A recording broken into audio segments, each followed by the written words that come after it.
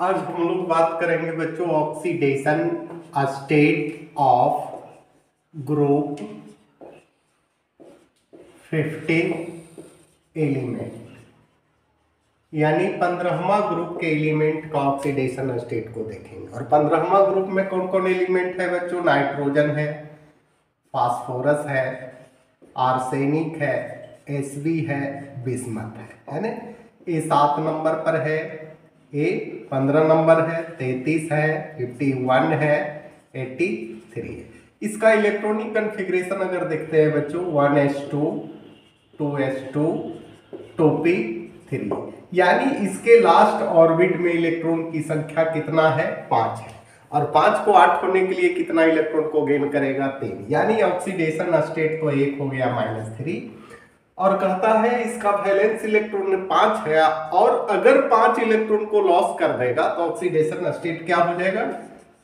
Plus five यानी minus three भी होगा माइनस टू भी होगा माइनस वन भी होगा ज़ीरो भी होगा प्लस वन भी होगा प्लस टू भी होगा प्लस थ्री भी होगा प्लस फोर प्लस फाइव अब बच्चों माइनस थ्री किसमें होगा? तो अमोनिया एन एच थ्री है, इसमें ऑक्सीडेशन स्टेट नाइट्रोजन का निकालेंगे माइनस थ्री आएगा। माइनस टू किसमें है H two N N H two जिसको हाइड्राजीन बोलते हैं। माइनस वन किसमें आएगा? N H two O H यानी अमोनिया हाइड्रोक्साइड ज़ीरो किसमें होगा? जिसमें फ्री स्टेट होगा, और फ्री स्टेट में एन टू मोलिक्यूल्स रहेगा, है ना? प्लस वन किसमें होगा बच्चों? दिमाग लगाइए। एन टू ओ जिसको नाइट्रस ऑक्साइड लाफिंग गैस बोलते हैं। प्लस टू किसमें होगा? NO nitric oxide plus three किसमें होगा? H N O two nitrous acid plus four किसमें होगा? नाइट्रोजन डाइऑक्साइड और प्लस फाइव किसमें होगा?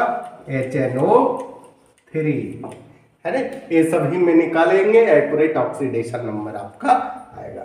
अब बच्चों हम लोग देखते हैं कि नाइट्रोजन से फास्फोरस यानी ये हो गया ग्रुप हो गया top to bottom top to bottom इसमें हम लोग को देखना है माइनस थ्री ऑक्सीडेशन स्टेट जो होता है डिक्रीज होता है। क्या होता है? Decrease down down the group down the group यानी ऊपर से नीचे आएँगे oxidation state minus three decrease होगा। पूछेगा क्यों? Due to due to increase increase of size यानी एटॉमिक साइज़ एटम का साइज़ ऑर्बिट बढ़ते जाएगा। ये दो है, इसमें आएगा तीन ऑर्बिट चार, पाँच छ है ना? इस प्रकार। And metallic metallic character metallic character है ना? यानी नॉन मेटल से मेटल की ओर आ जाएगा। नॉन मेटालिक कैरेक्टर घटेगा मेटालिक कैरेक्टर ऊपर से नीचे क्या होगा?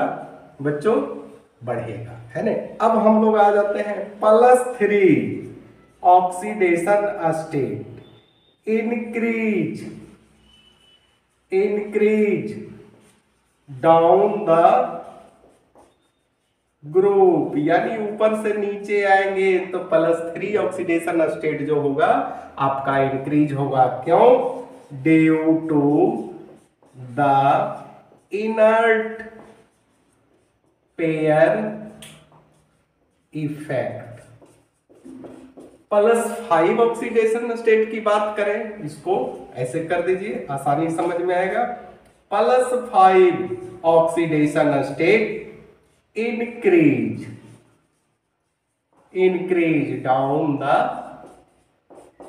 group अगर नहीं दिखाई दे रहा है बच्चों तो मैं बोल भी रहा हूँ, है ना? ग्रुप अब बच्चों, यहाँ ध्यान दिया जाए थोड़ा सा है ना? नाइट्रोजन का ऑक्सीडेशन स्टेट प्लस फाइव होता है, लेकिन ये penta halide N C L five कहीं नहीं बनाएगा, है ना? एन सी एल फाइव कभी नहीं बनाएगा। ये क्वेश्चन एनसीईआरटी में है, देख सकते हैं। तब पूछेगा, क्यों नहीं बनाएगा? तो कहता है कि नाइट्रोजन का मैक्सिमम कोवैलेंसी जो होता है, तीन होता है। सॉरी चार होता है। चार, तीन कोवैलेंट बॉन्ड बनावेगा, कोवैलेंट बॉन्ड बनावेगा और एक लोन पेयर इलेक्ट्रॉन से कोऑर्डिनेट बॉन्ड बनाएगा। यानी मैक्सिमम कोवैलेंसी इसका क्या हो गया? चार हो गया।